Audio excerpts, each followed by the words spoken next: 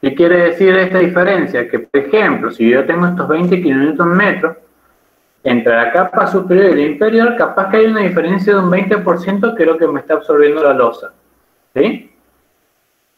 Pero, si la cuantía me manda, tengo que cubrir la cuantía con la madura solo de la viga. ¿Sí? No puedo tener en cuenta la madura de la losa para cubrir la cuantía de la viga. Eso también es importante.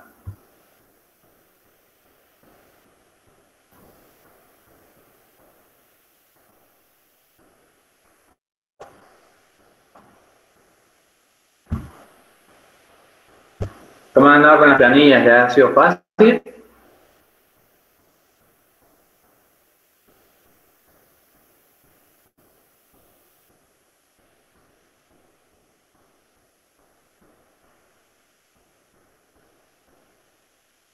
Pueden, usar un esquema muy similar a las planillas que les mostraba Daniel en la presentación, ¿sí?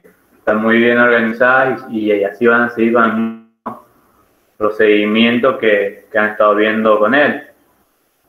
No hay ningún problema con eso, obviamente. Profe, una consulta. Sí. En la viga, en la penúltima viga. La penúltima. Sí. la número 7 creo que es. Eh, el, cuando calculamos, nosotros calculamos el momento máximo de la viga y el momento promedio. Sí. Y no pueden, no pueden diferir en más de un 30%, ¿verdad?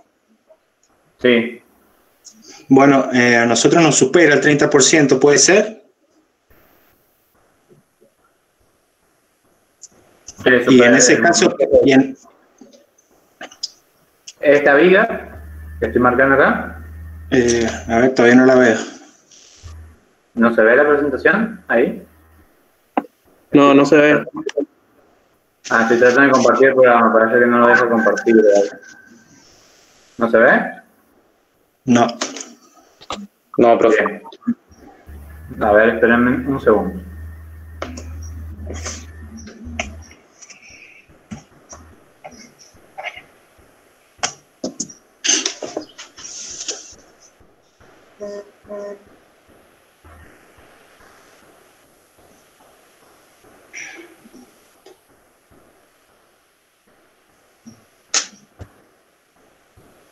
¿Se ve ahí?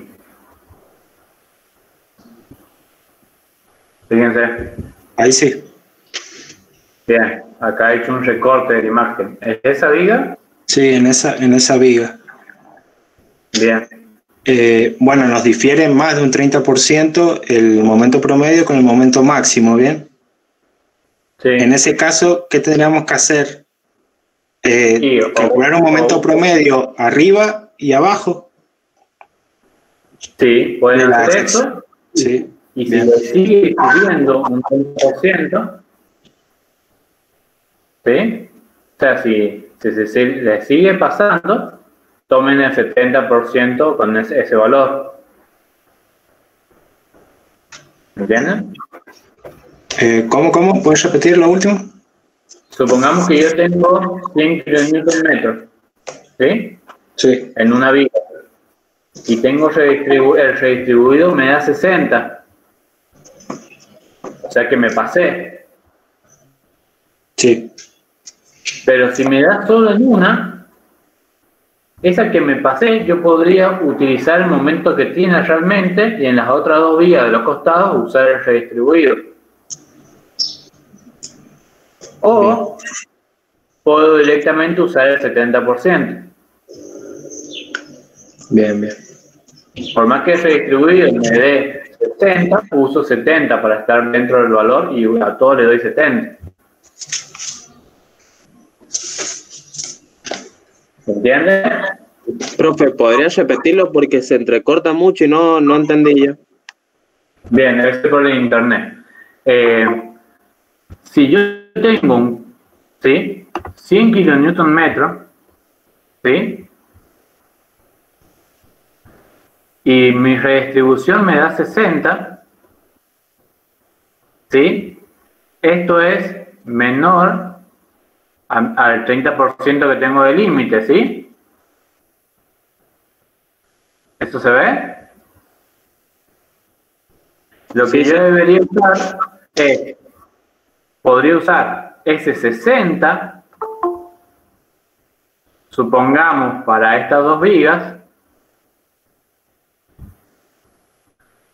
y usar el valor que tiene, el valor real de esta viga.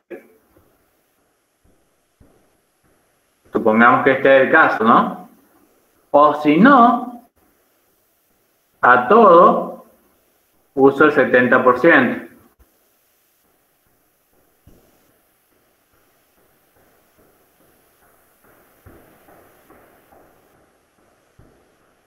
¿Se entiende un poco?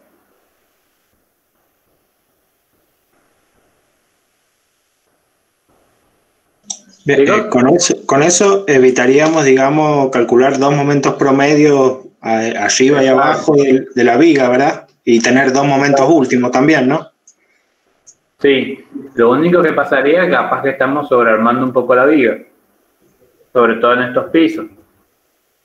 Bien. Porque en estos pisos seguramente el momento positivo es el bajo, el momento negativo, digo. Sí, deben mandar casi siempre a carga vertical por ahí.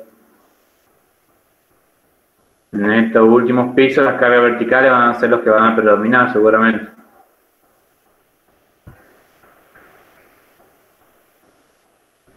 Recuerden que no podemos sí, eh, calcular con un momento menor de carga vertical, eso siempre tenganlo en cuenta, ¿sí? En la comprobación que hagan.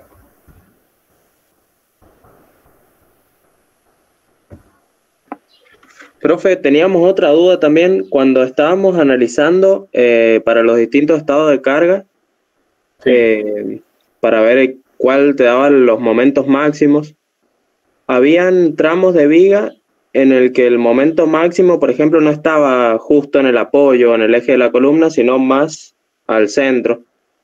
Eh, para ese apoyo se toma el máximo, ¿verdad? ¿En las vigas superiores? Sí, sí en las vigas superiores. Bien, sí, ahí hay que tener cuidado porque significa que la rótula no se va a formar en el apoyo. ¿Sí? Se va a formar en el costado, más al centro, entonces es una rótula unidireccional. ¿Se acuerda que eso lo han hablado con Daniel? Que se hace 2H para un lado y 2H para el otro lado, la sección crítica.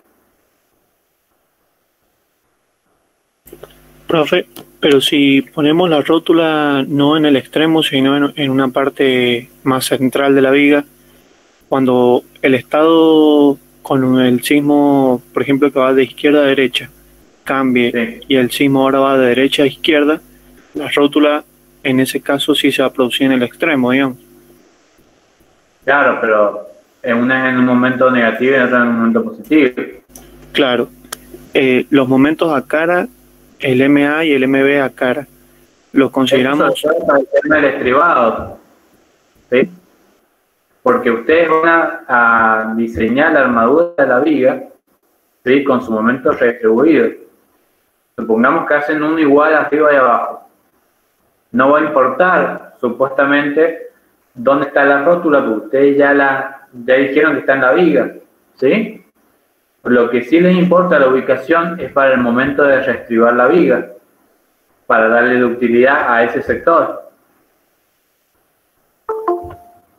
¿Se entiende? Ignacio, no sé si se... Sí, sí. Se entiende. Eh, entonces, si vos vas y volvés con el momento, no importa porque vos igual ya tu momento redistribuido se supone que es mayor, mayor al 70% de cualquier momento que tengas. Por eso redistribuiste. Ya sea en el apoyo, ya sea en el medio, ya sea donde sea en la viga. Está bien. ¿Se entiende? Sí, sí. Entonces, la idea es ubicar la rótula adecuadamente para que cuando yo restringe, no siempre tenga restribado en el apoyo y capaz que se me rotule en un lugar donde empecé a calcular capaz que corte en zona normal y en realidad era zona de rotura plástica. Y capaz que en ese sector yo no puedo considerar la contribución del hormigón que sí considero en las vigas de más abajo, en la zona central.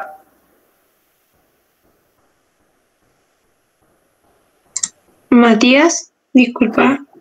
Hay chicos que quieren ingresar y no pueden. Qué raro, eh, ya llevamos 40 y no, yo voy agregando a todos los que me... A ver que intenten de nuevo, pero... Bueno. Matías. Sí. Y cuando eh, en la tabla vamos completando con el momento A a cara y el momento B a cara, digamos. Eh, tenemos que ver en qué estados el momento A es mayor y en qué estado el momento B es mayor o el momento B corresponde al mismo estado del momento A. No, del mismo estado, porque ustedes recuerden que van a sacar, tienen que hacer un, un momento redistribuido para cada estado. ¿Sí? Sí. De combinación. Y en base a eso sacan el mayor. Y con ese mayor de, la combinación que ustedes utilicen, que es comprueban que no sea menor al 30% la redistribución y que no sea menor a cargos verticales. Entonces, en el apoyo A y B de la viga, va a tener de la misma combinación, que es la que les dio el momento de redistribución mayor.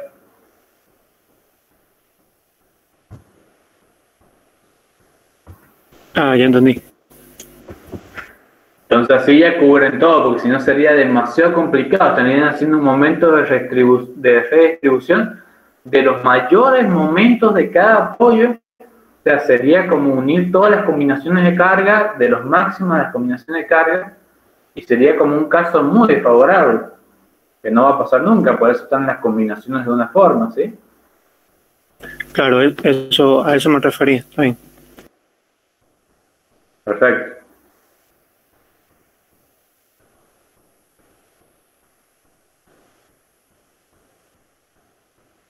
La idea es que con la clase de hoy un poco se saquen estas dudas, veamos muy rápidamente lo que falta, los datos que faltaban sacar para las columnas, que en realidad son muy poquitos los datos que usamos en el programa, eh, y ya empiecen a trabajar también con columnas. El miércoles de esta semana vamos a tener la clase práctica de pretensado, donde vamos a ver una vía continua, pero de hormigón pretensado. Eso lleva un práctico que es muy simple, ¿sí? Entonces, bueno, ese práctico lo tienen que entregar una vez que se termine este práctico. También es en grupo, así que no, no hay problema con eso. Y bueno, la idea es que mañana, porque tengo entendido que ya han terminado las clases de pretensado, las clases teóricas. Entonces, la idea va a ser que mañana se tomen la tarde para seguir con el práctico de vías y poder terminarlo y empezar con columnas. Para que la semana que viene ya columna esté terminada y solo quede hacer el planito, ¿sí? Y yo les voy a pasar el plano ese que les mostré el otro día para que ustedes tengan de dónde guiarse y les sea más sencillo la parte gráfica, digamos.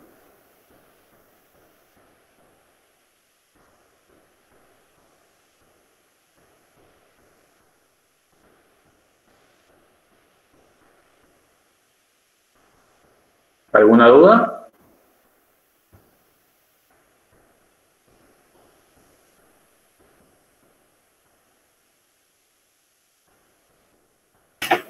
Eh, una pregunta.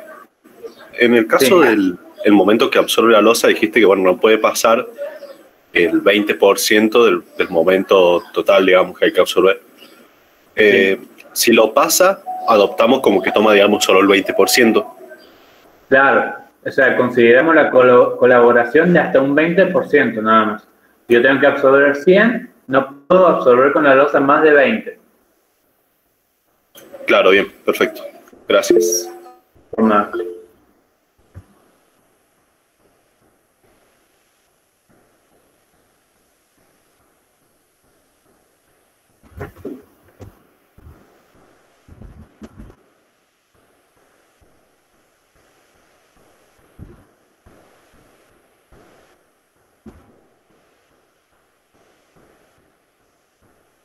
los leas claro para las dudas. Eh, las vías que tienen que calcular en este momento son las del primer piso hasta las del penúltimo piso, porque recuerden que azotea y viga de arreostre no roturan en este caso, ¿sí?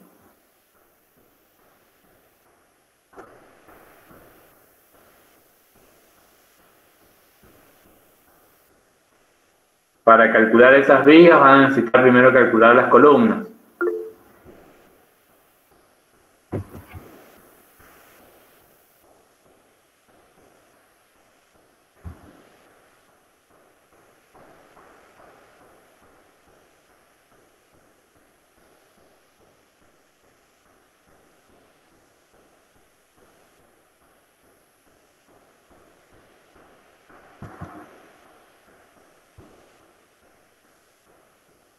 ¿Entienden, chicos? Matías. Sí, profe, se entiende. ¿Qué pasa si la cuantía nos da menor a la mínima? ¿Tenemos que redimensionar la sección? Si la cuantía es menor, hay que armar por cuantía. ¿Cómo? Perdón, no te escuché. Que si la cuantía es menor que la, que la cuantía mínima, hay que, hay que armar la sección por cuantía, o sea, con esa cuantía mínima. Ah, bien, bien, gracias. O sea, en realidad lo que nos está diciendo es que la sección es grande. Claro, por eso pensé que había que redimensionar, pero no, directamente usamos la mínima. Claro, igual que quieren ustedes después pongan una notita, se usa la mínima, pero que también se puede optar por rediseñar como para que les quede a ustedes para el día de mañana, ¿sí? Eso es importante. Bien, gracias. Matías. Sí. Te jodo una vez más que me anda muy mal el internet. ¿Podrías repetir el restribado en la rótula unidireccional? Sí, lo importante con el tema de la rótula, cuando tenemos una rótula en un tramo medio, generalmente es mandada por la carga vertical, significa que va a ser unidireccional o sea que no va igual.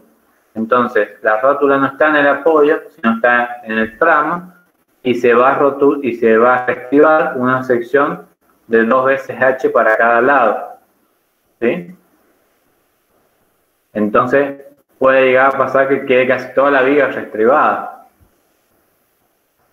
En este caso, como tenemos vigas cortas, pueden pasar que toda la viga tenga estribo, estribo de zona crítica. Bien, bien, ya entendí. Gracias. Por nada.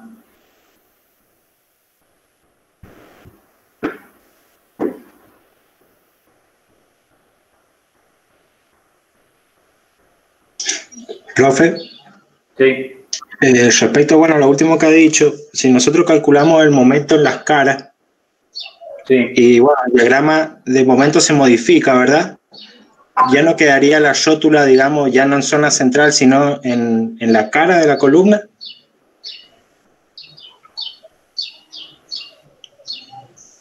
¿Cómo, cómo, cómo?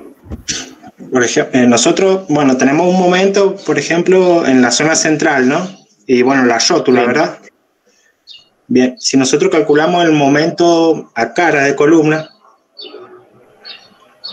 bien, el diagrama de momento no se modifica y quedaría el máximo en la cara de la columna y por tanto la rótula también en la cara? No, porque lo que están diciendo los chicos es que el máximo no está ahí, sino que está en el tramo. No está en la cara de la columna, ni siquiera está en el eje de la columna. Ah, bien, bien, bien. Como, mira, eh, Ricardo. Sí. Mira, fíjate, voy a compartir un nuevo imagen. Fíjense si se comparte. Avísenme cuando se comparte. Sí, ahí se ve. Bien, fíjate. En este caso, estamos hablando de lo que vos decís. ¿Sí? Bien. Pero acá, el momento máximo está acá. Está muy lejos de la cara de la columna. ¿Se ve? Sí.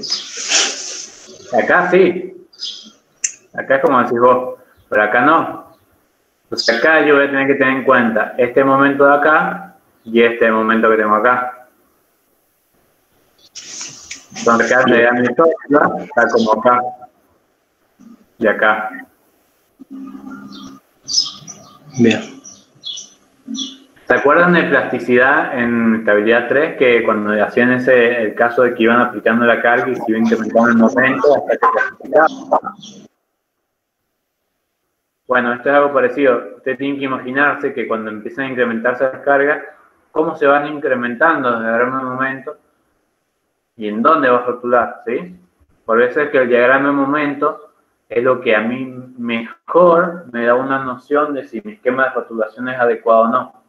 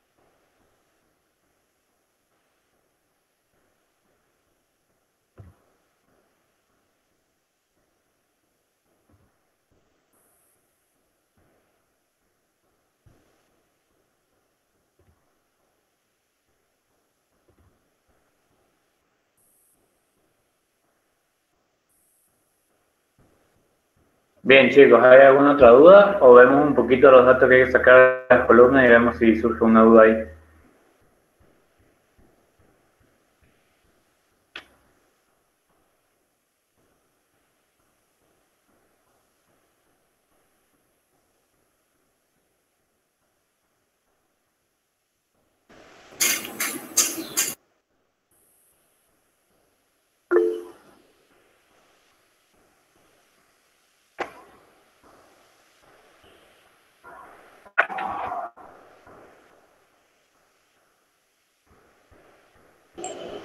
Ninguna otra duda por mi parte. Bueno, una vez que ya hayan calculado todo lo que son las vigas, desde el primer piso hasta el penúltimo piso, van a tener que empezar a calcular columnas, ¿sí? he estado viendo la, la clase de Daniel el jueves, no, no he podido yo estar como estaba en otras clases, pero bueno, justo coincidía con mi horario de trabajo en mañana. Eh, bueno, ahí está muy, muy claro, como siempre Daniel, en la parte de práctica, así que no creo que hayan muchas dudas respecto a eso. Pero bueno, acá como que como la otra vez les he hecho como un pequeño resumen solamente de lo que ustedes van a extraer del programa para que sepan rápidamente extraerlo y puedan empezar a trabajar. ¿sí? Ustedes ya saben cómo calcular el momento último, ¿sí? Primero, para armar la armadura de, de las columnas que necesitan para la armadura longitudinal. El momento último y el esfuerzo normal último, ¿verdad?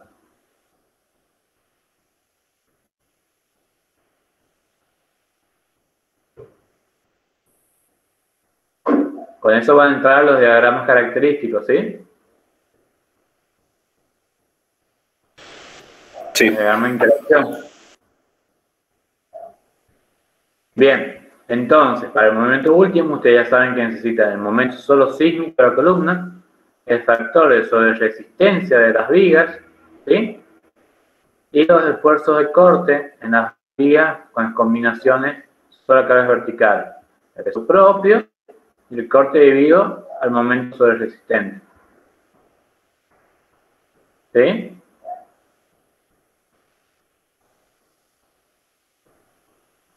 Después, eh, con Daniel han visto una simplificación, ¿sí? En la obtención del esfuerzo normal último, que la vamos a tomar para hacer el práctico, para que les sea más sencillo, que es para calcular el esfuerzo normal último, ¿sí?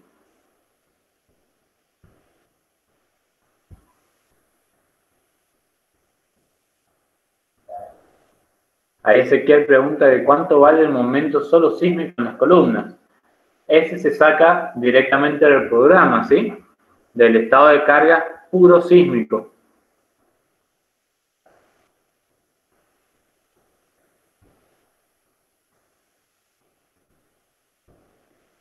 Bien, en vez de hacer todo ese proceso laborioso para obtener el esfuerzo normal último, ¿sí? de la suma del peso propio, la suma de los cortes. Directamente usar el esfuerzo normal último, máximo y mínimo que da el programa, ¿sí? Como lo han visto con Daniel el jueves.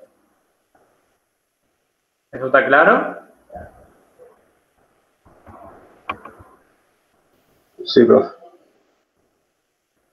Con eso, ¿sí? Se va a simplificar bastante la parte de diseño de columna. Una vez que ustedes ya tengan armada su columna, ¿sí? Con la armadura que han elegido, van a ver el tema del estribado mínimo que va a tener que tener, ¿no? Recuerden que van a sacar la cantidad de barras de la separación que tiene la armadura longitudinal y van a sacar también el tema del diámetro mínimo que va a tener y la separación que va a tener entre cada llama de estribo.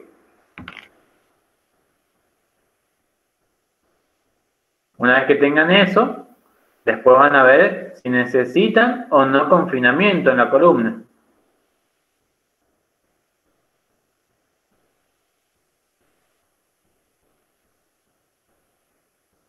Que es muy posible que, sobre todo en los pisos de abajo, ¿sí? pueden llegar a necesitar confinamiento o no, o dependiendo de la fricción de la columna. Y luego, una vez que ustedes ya tengan la armadura de los estribos por pandeo, por confinamiento, ¿sí? Y, o sea, que es lo mismo, perdón, pandeo y confinamiento, y tengan la armadura mínima que les exige el reglamento, van a calcular la armadura de corte de la columna y la van a comparar con estas dos armaduras que ustedes ya han calculado para ver si ya están cubriendo esa armadura de corte necesaria. ¿Sí?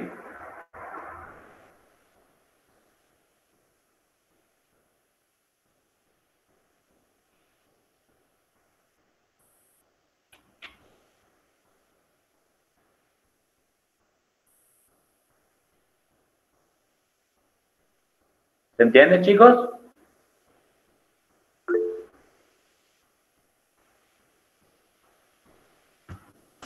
Sí, profe.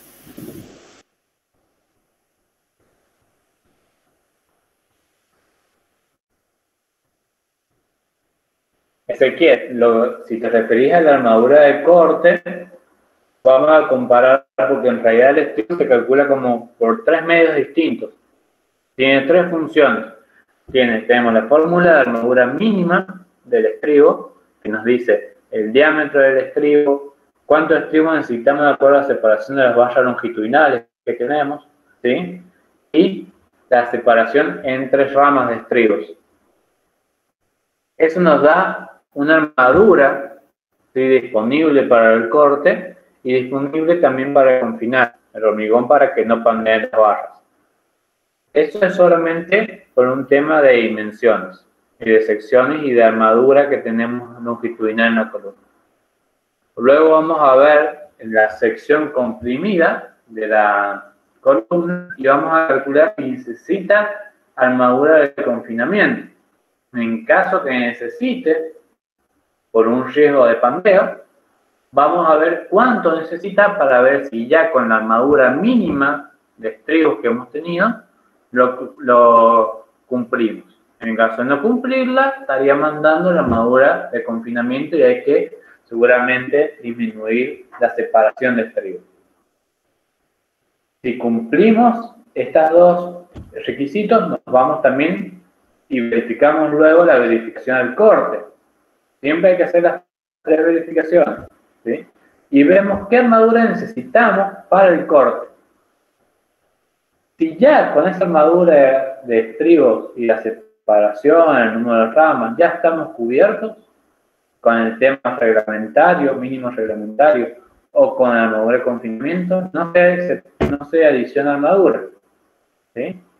Entonces lo que hacemos, comparamos la armadura de estribo que tenemos en la misma columna para estas tres casos. Lo mínimo reglamentario, el confinamiento y el corte. El que nos exige más es el que va a mandar cómo vamos a reestructurar nuestra columna. ¿sí? ¿Qué diámetro de estribo? ¿Qué separación de ramas? ¿Cada cuánto ponemos el estribo? ¿Sí? Siempre recuerden, en zona de rotura plástica no se tiene en cuenta la resistencia del hormigón, solamente en zona normal.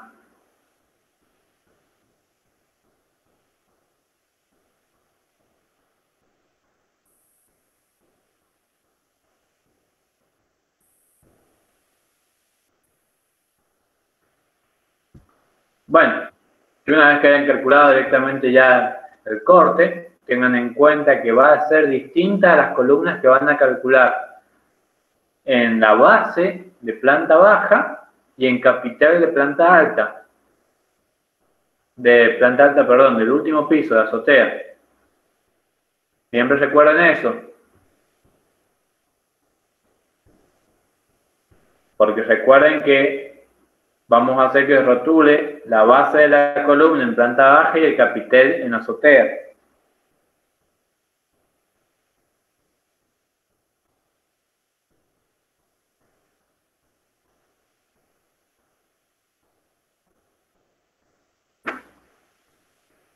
¿Se entiende? Bien, sí, se entiende. Perfecto. Bueno, la idea sobre todo de hoy es que si surge, si tienen más dudas de vigas, las podamos salvar, así ya mañana pueden terminar de entregar el práctico. Y ya mañana, si ya tienen el práctico listo, empiecen con columna o en su defecto empiecen el miércoles con columna. El miércoles vamos a tener la práctica de pretensado a la misma hora de hoy. Vamos a empezar con un poquito más de teoría y después vamos a seguir con la práctica. Y ya la semana que viene, ya tendrían que estar para martes, miércoles de la semana que viene, ya tendrían que estar las columnas todas diseñadas.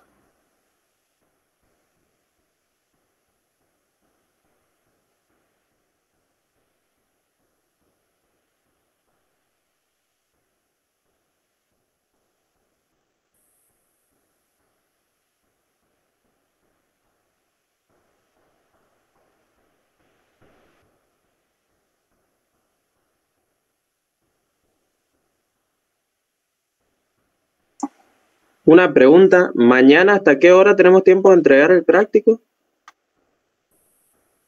Mañana todo el día.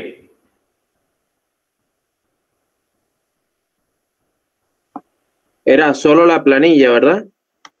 Sí, sí, la planilla nos salga referenciar las vigas y yo ahí voy a ver que estén los cálculos correctos o no y bueno, en base a eso haré el comentario para que no empiecen a, calcular las columnas sin que eso esté correcto. y Por eso es la idea de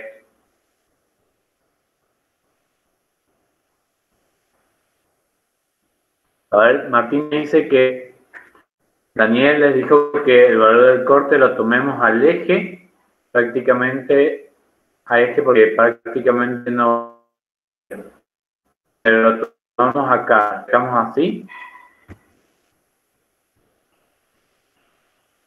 O sea que ustedes, Martina, lo han tomado a cara en lo que es el práctico. O sea, ya han hecho la planilla y lo han tomado a cara.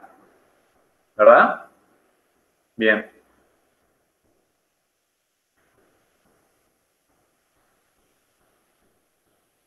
Mira, sobre todo, me gustaría que en las vigas de abajo quedara a eje. ¿Sí? Sobre todo en los últimos tres pisos. Eso de última tratan de modificarlo para que quede a eje. Y, y de paso ahí les queda ya correcto como les tienen que quedar.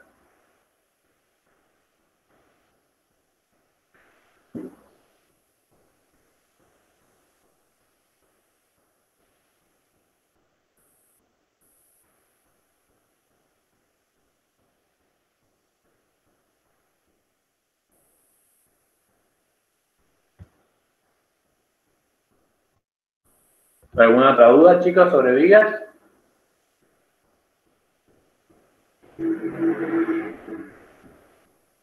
¿Sobre columna tienen alguna duda de lo que hayan visto el jueves? Por ahora no. Bien. Bueno, ¿cómo van con este práctico con vigas? ¿Ya han, ya han avanzado? ¿Lo tienen casi listo? ¿O alguno está más atrasado?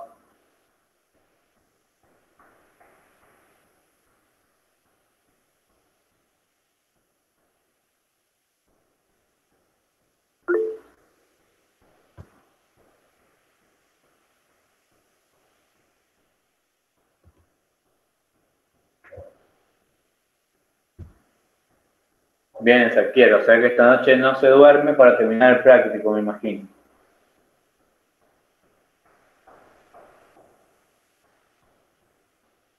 Bueno, la idea es, como les digo, la idea de controlar esto, en otros años lo que hacíamos directamente, hicieron todo el cálculo todavía y, después se corregía al final, pero si hay algún error en vigas, se arrastra obviamente a columnas por la forma del método y bueno, eh, las cosas no salían muy bien.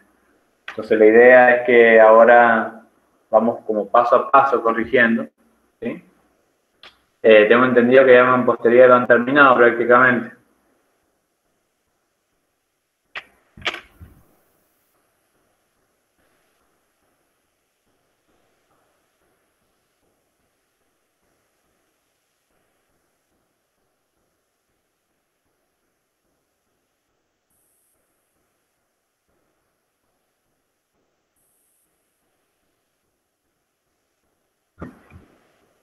¿Qué le falta en mampostería?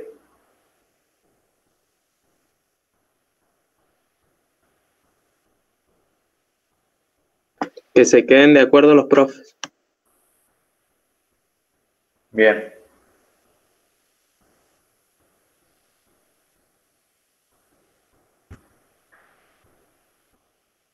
Bueno, eh, la idea de este práctico es un poco más sencillo, sí, aunque la idea es que termine en liga y ya prácticamente yo ya en estos días les voy a subir archivo de AutoCAD eh, con el despiece de columnas y el mismo que les mostré hace unas clases.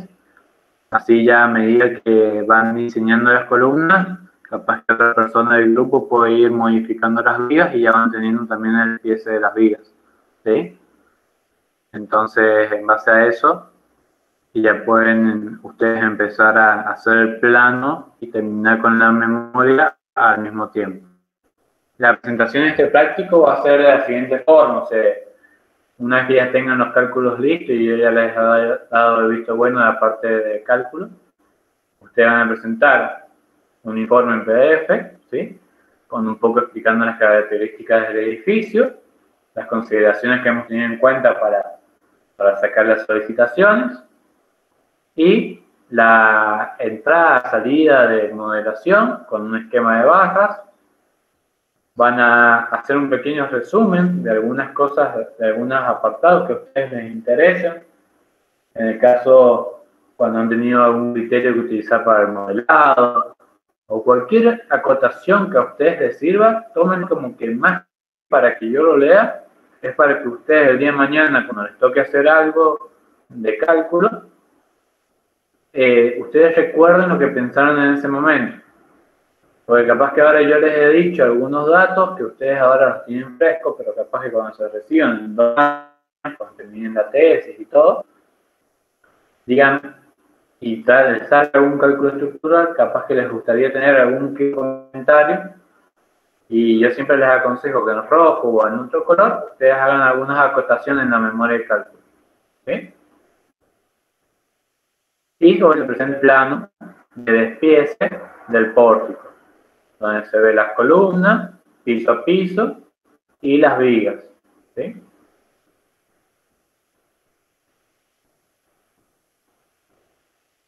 Le hago una consulta. ¿Qué pasa si la columna del tercer piso está más armada que la del segundo piso?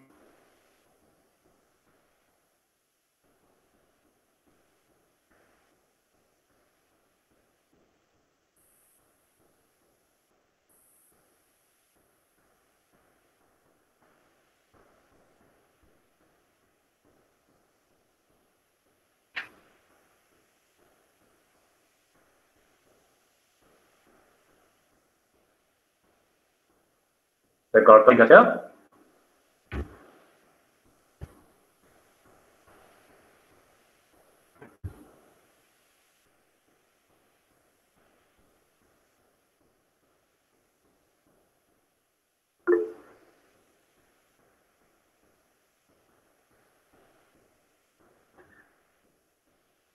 Gabriel, puede pasar perfectamente. Es más, en, el práctico, en la práctica del jueves, fíjense que con Daniel hay columnas que tienen mayor en unos pisos inferiores.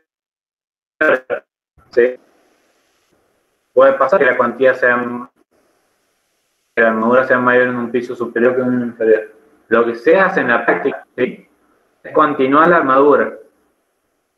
O sea que si yo tengo cuatro hierros de 25 ¿sí? por cara en el tercer piso, pero que capaz que en el segundo piso, en vez de con cuatro hierros del 25, con dos hierros del 25 y dos del 20 ando bien, no disminuyo la armadura. Lo que, lo que hago es continuar esa armadura de la columna. ¿Sí? En este caso, que la columna no rotula. El problema, sí, lo vamos a tener en la, en la columna de abajo. Por eso es importante primero calcular columna ustedes van a llegar con una armadura, ¿sí? que seguramente va a ser mucho mayor a la armadura que saquen del momento nominal de esa columna, cuando la tengan que hacer rotular. Entonces, seguramente les va a terminar mandando la armadura del piso superior que arrastren hasta la fundación, que la armadura propiamente calculada de esa columna. Entonces, cuando calculen el arriostre, van a tener que tener en cuenta el momento nominal de esa columna con la armadura que, que finalmente terminaron armando. ¿Se entiende esto?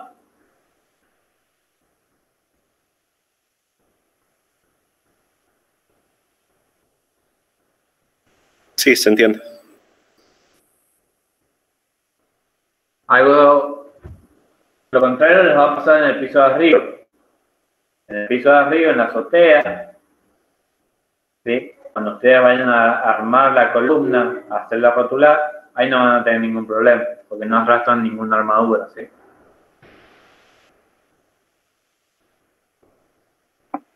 Una pregunta. En vigas, bien, eh, ¿cuánto, o sea, por cuánto te puedes pasar en exceso de armadura sin afectar que rotule la viga?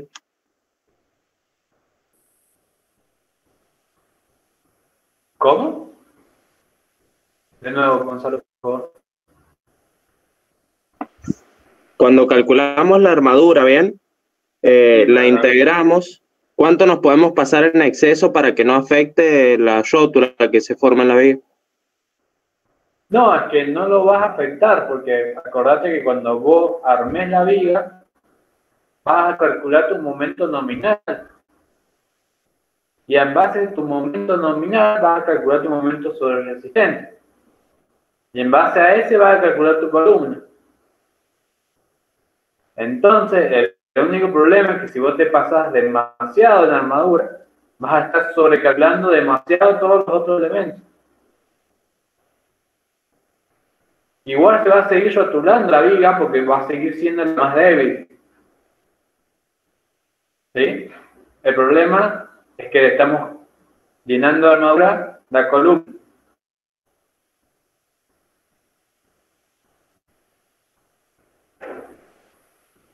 ¿Se entiende? Bien, bien. Gracias.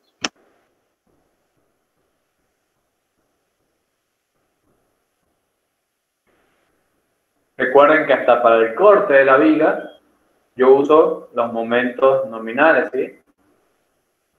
Los sobre resistentes.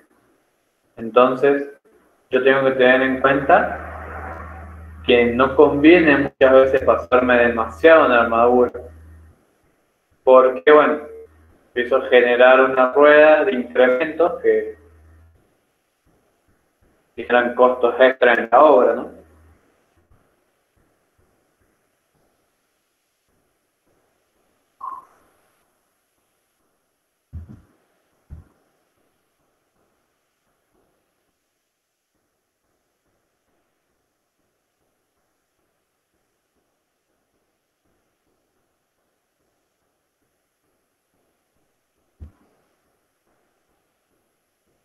¿Alguno no tiene otra duda, chicos? Si no, con esto ya estaríamos terminando la parte de pórticos y quedaría solamente, bueno, que ustedes trabajen.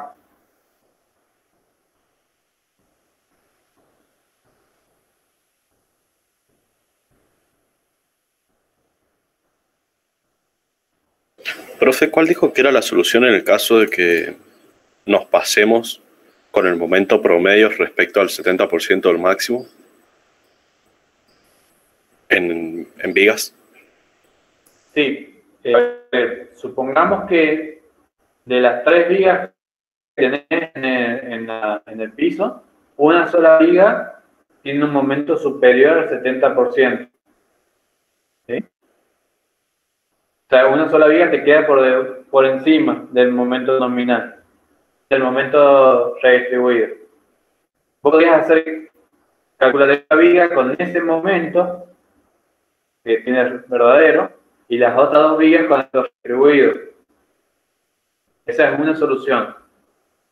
Otra solución sería calcular un momento redistribuido para la cara superior y un momento redistribuido para la cara inferior. ¿Sí? Bien, bien, bien. Y la otra solución, ¿sí? Decime, Gabriel. No, no, no, siga, eh, siga, siga. Ah, y la otra solución sería todas las tres vigas calcularlas con el, con el 30% del máximo momento. Perdón, ¿puedes volver a repetir eso que se cortó un poco? Que la tercera solución sería calcular todo el tramo de las vigas, las tres vigas, con el 70% del mayor momento. Que ese 70% de ese mayor momento era más grande que el momento redistribuido.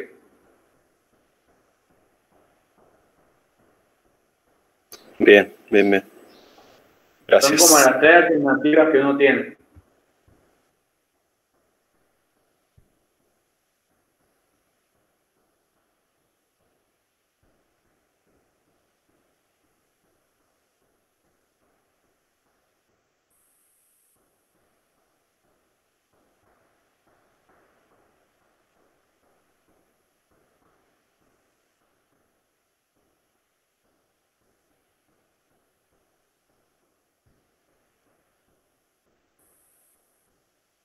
A ver, Julián, a ver si puedo responder tu, tu pregunta. El mecanismo con, con, el que uno trabaja, ¿sí? Eh, es el siguiente. Uno, analiza un tirón de vigas, ¿sí? Vamos a ver, voy a hacer de nuevo la presentación de la,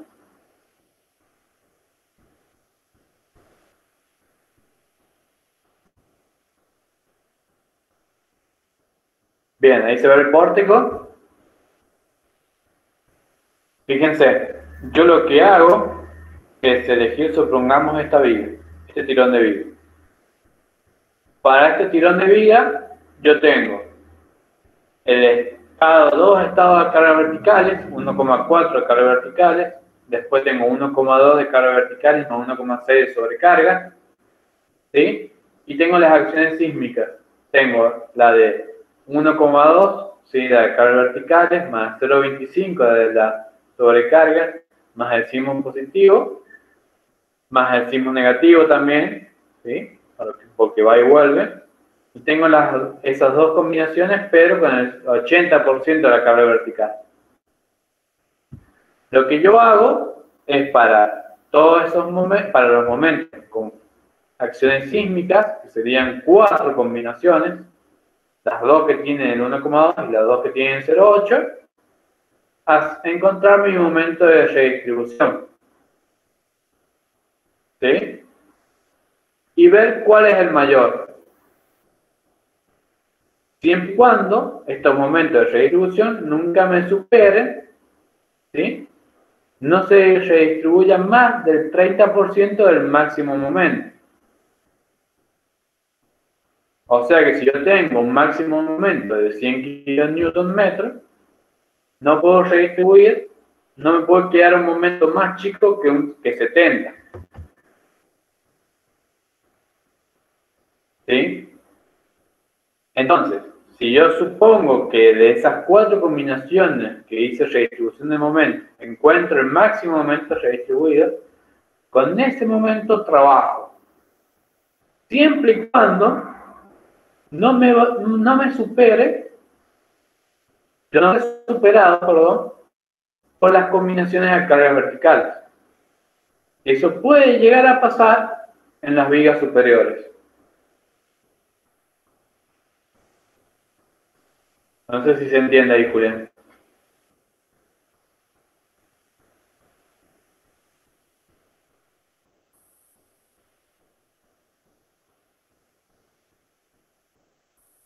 Por eso yo les decía que muchas veces lo que conviene para trabajar más sencillo con las salidas del programa es seleccionar todo el tirón de viga de un piso y pedir extraer datos. Entonces, rápidamente ustedes van trabajando con ese tirón de viga para, todo, para todas las combinaciones. Y así siguen después con el otro tirón de viga. Recuerden que el programa va a extraer datos de lo que esté seleccionado. Entonces, si yo selecciono toda una fila de columnas, solo me va a dar resultados de esa fila de columnas.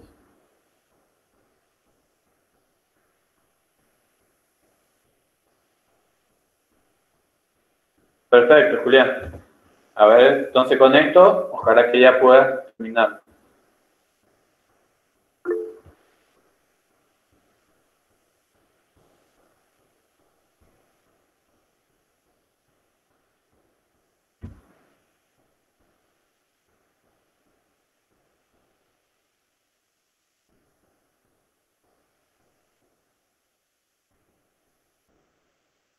Bien, ¿alguna otra inquietud, chicos?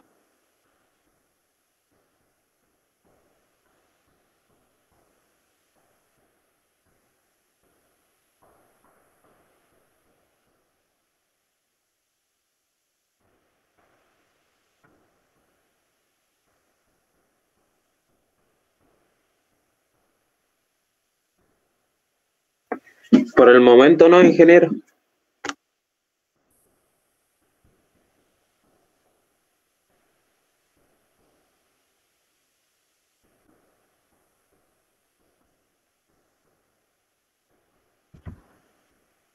Sí, Gustavo, puede ser que sea esa coincidencia. Eh, recordemos que acá en este, en este caso tenemos cargas simétricas, entonces eh, puede llegar a pasar que el momento de redistribución esté eh, siempre en esa combinación.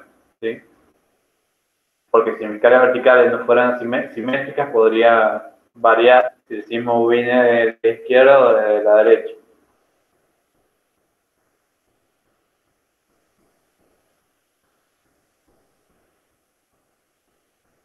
Sí, sí, José. cuando calculamos el momento nominal de las vigas en la armadura superior, tenemos en cuenta la contribución de la losa. Por eso es que, es que también se tiene en cuenta no solo para disminuir la armadura de la losa, sino para uno tener en cuenta que tiene una mayor sobre resistencia.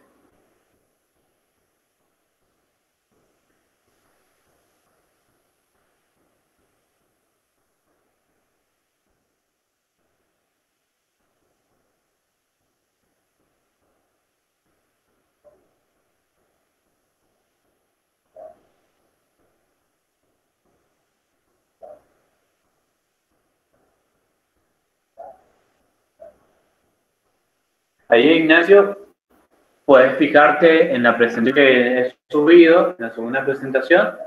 Eh, tiene una armadura de pi 8 a 15 centímetros y una altura de 12 centímetros la losa.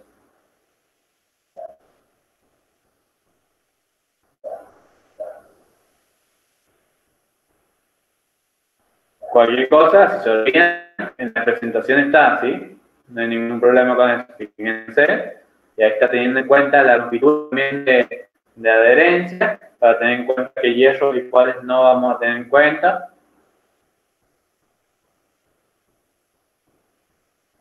Y sale el ancho de la lota para que tengan en cuenta también el tema de las alas.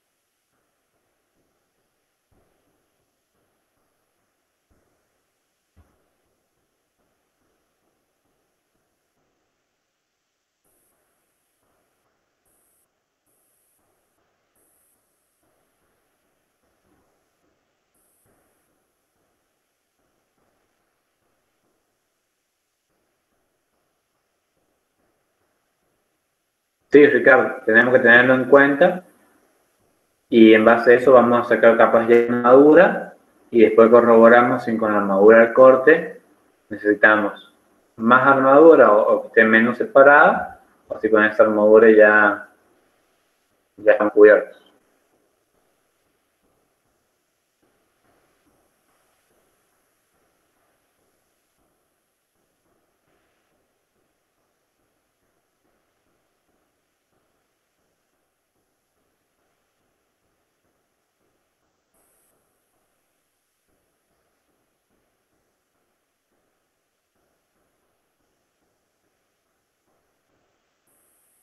Bueno, chicos, ¿alguna otra duda?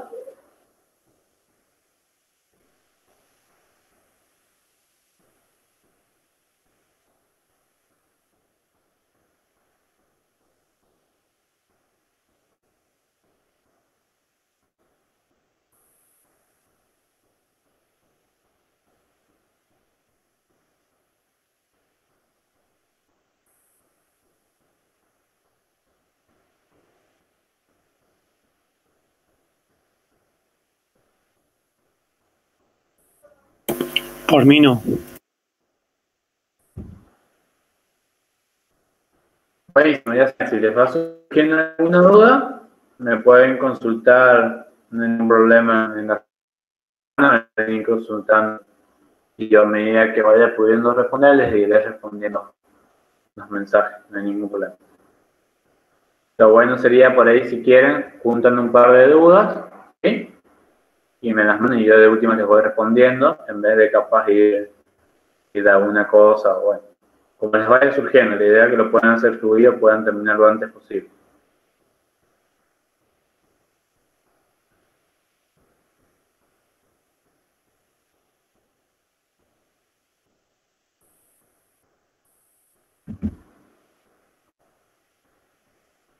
Bueno chicos, entonces lo dejemos hasta acá. Así ya pueden aprovechar ese tiempo que les queda para seguir con el práctico de vida. Y bueno, y no espero que mañana la mayoría ya pueda entregar. Así ya se los corrijo lo antes posible. También siguen con columnas.